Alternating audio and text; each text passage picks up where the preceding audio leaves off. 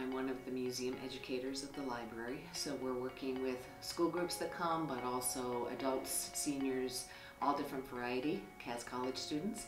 And um, one of the really fun things we get to do is create these drawers for our Cabinet of Curiosity.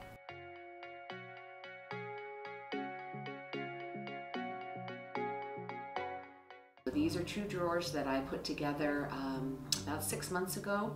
One involves items from our collection and the other one is kind of some personal items.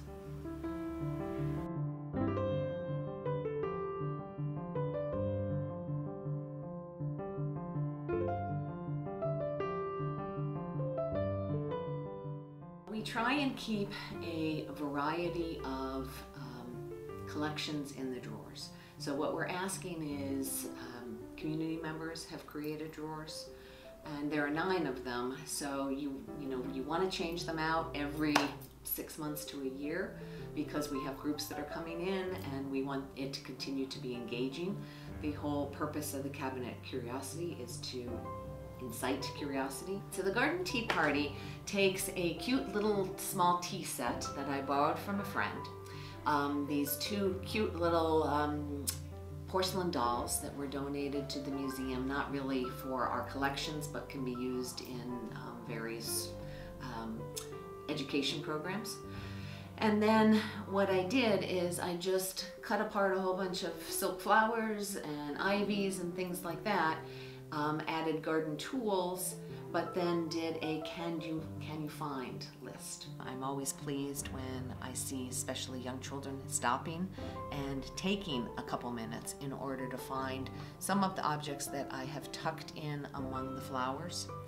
Some of the objects are listed, are actually part of the tea set. So little tiny piece of cake that's on the little table, the little bunny that's on the plate here that says welcome friends.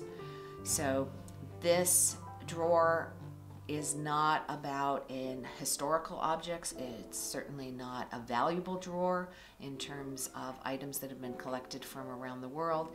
It's more a drawer to engage and get people to stop for just a minute and see if they can find at least maybe some of the butterflies, dragonflies. Just take a little time and have some fun.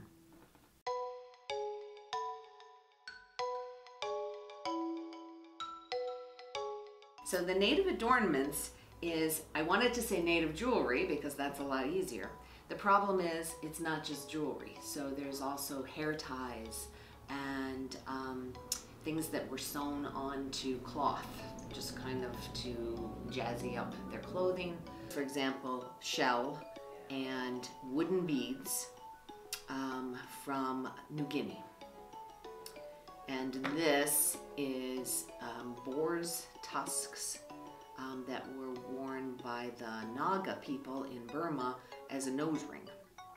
These necklaces are all Maasai, which is also African tribe and they loved those small uh, glass beads. They're adding metal pieces as a little bit extra.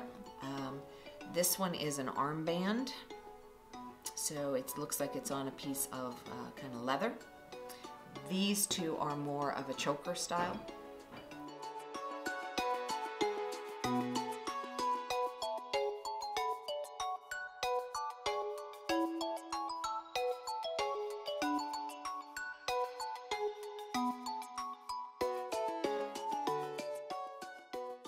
Our museum was started by someone who wanted to share with the community, Mr. Robert Hubbard, who went to Egypt to buy a mummy. And, you know, he could have had all of that Egyptian collection in his own home and kept it just for himself. But his idea was to create the museum and to share with the community, knowing that most people aren't traveling. Museums are a repository of history, a way of keeping history alive keeping history interesting and engaging, and hopefully instilling curiosity at the same time.